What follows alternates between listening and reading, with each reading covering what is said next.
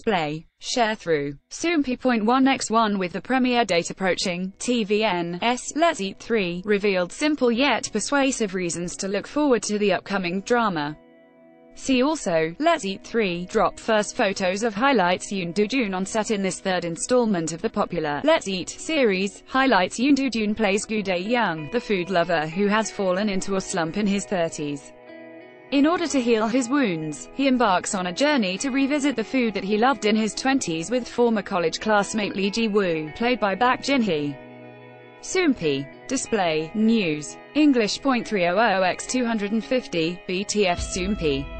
Mobile. English .300x250, ATF The first series that started in 2013 reflected the trend of single-person household and mukbang social eating, and filled the cold hearts of viewers in the middle of winter by remembering the meaning of dining together.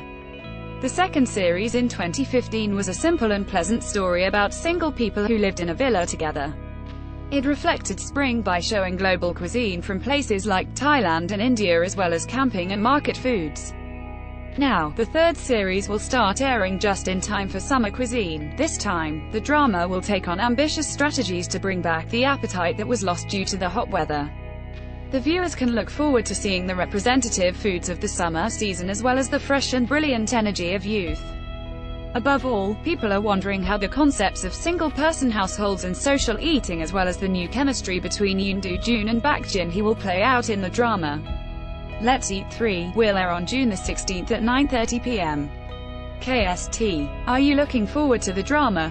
In the meantime, watch the first two seasons below. Watch season 1 here, watch now watch season 2 here, watch now source 1.